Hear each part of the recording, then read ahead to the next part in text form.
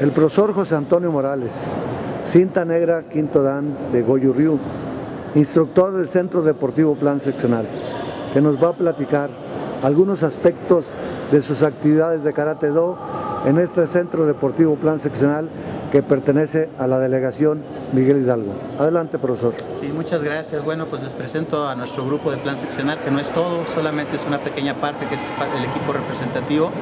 Y de alguna manera pues, estamos muy contentos porque hemos trabajado durante eh, cinco años en conjunción con el grupo de Shotokan del profesor Alfredo Ponce y, y nuestro grupo para poder alcanzar metas deportivas y poco a poco hemos alcanzado buenos resultados los últimos que se han obtenido son el que nuestra alumna y competidora Daphne Sofía Bistraín eh, participe en la Youth League, que es uno de los eventos mundiales de la Federación Mundial de Karate, y en octubre de este año va a, va a estar en, Cancún representando a nuestro deportivo.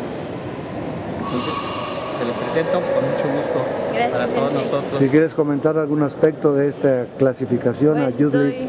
Muy muchas gracias, estoy muy contenta, siempre con el agradecimiento de todos mis senseis y el apoyo de mi familia, que siempre están confiando en mí y atrás de mí con todo el apoyo y pues estoy súper contenta por haber clasificado.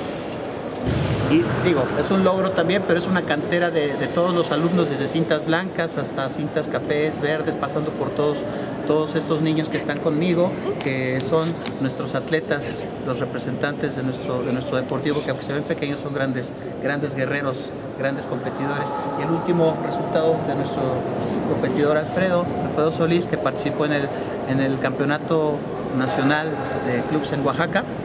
Y, este, bueno, pues también se nos quedó presentar. Muy bien, de alguna manera no ha sido fácil todos estos logros. El hecho de que ahora Daphne esté en la Youth League y que es el primer evento internacional de juveniles, precisamente a nivel internacional en Cancún, no será sencillo.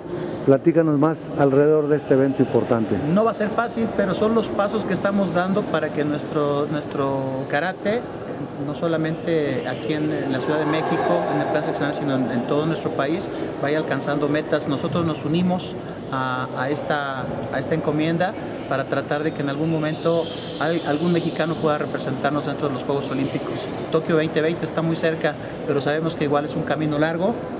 Aquí están futuros, futuras estrellas. Yo así lo visualizo y yo espero que todos nuestros compañeros, eh, maestros, entrenadores y directivos así lo vean, nuestra cantera.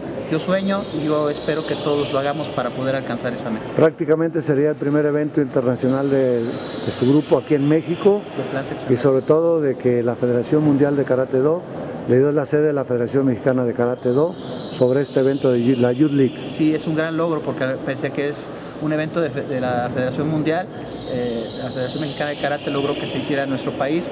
Por supuesto, que eso genera grandes beneficios para todos nuestros deportistas. ¿Por qué? Porque está cerca, estamos, estamos cerca de poder alcanzar esta, esta meta.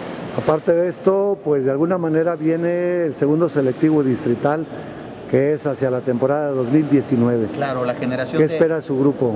Esperamos poder alcanzar las metas y los resultados, superarlos y, por supuesto colaborar para que nuestra Ciudad de México siga teniendo los resultados que se han obtenido como, como estos últimos años.